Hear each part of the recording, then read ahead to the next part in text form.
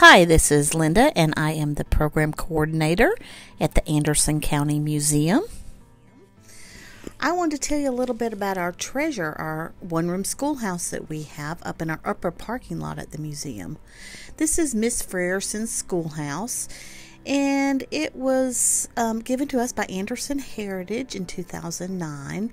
Little history on the schoolhouse is it originally sat on the corner of Whitner and I Streets. When the schoolhouse was at the fairgrounds, on Highway 29.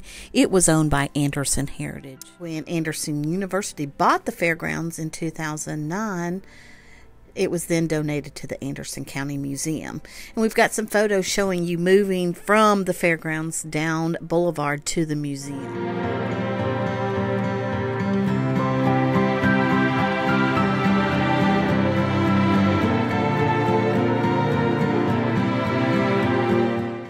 Miss Frierson opened her one room schoolhouse in the late 1800s. She taught all grades in this one room. The children walked to school and brought their lunch. There was no cafeteria.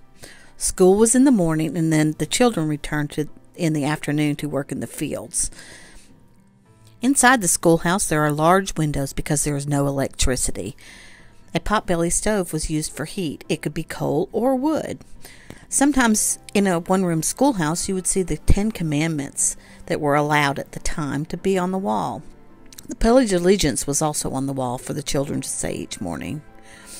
The children used McGuffey readers, chalk slates, and a blackboard was usually at the front of the room. The desks were bench type styles, and two to three children could sit on one bench. Thank you so much for listening, and you can learn more about this exhibit and all our other exhibits on our website at andersoncountymuseum.org.